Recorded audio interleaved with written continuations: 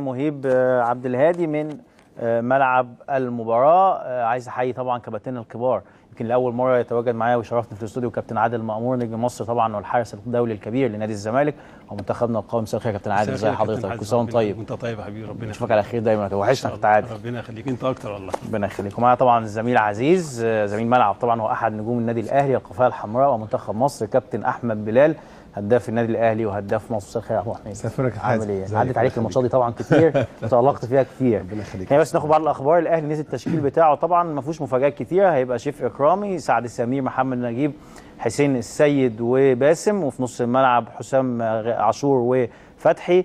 آه، رمضان صبحي مؤمن زكريا عبد الله السعيد وقدام عمرو جمال. ده هو تشكيل النادي الأهلي النهارده. ويمكن أحمد الشيخ خارج القايمة زي ما قلنا على حمودي وشيف علاء. حمودي يمكن عنده خراج في رجله. عشان كده طلع بره السكور. وشيف علاء لأسباب فنية. خلينا نشوف النهارده آراء الكباتن النهارده في الماتش. خلينا نسمع كابتن عادل بقالنا كتير ما سمعناش رأيه ومش سمعنا صوته.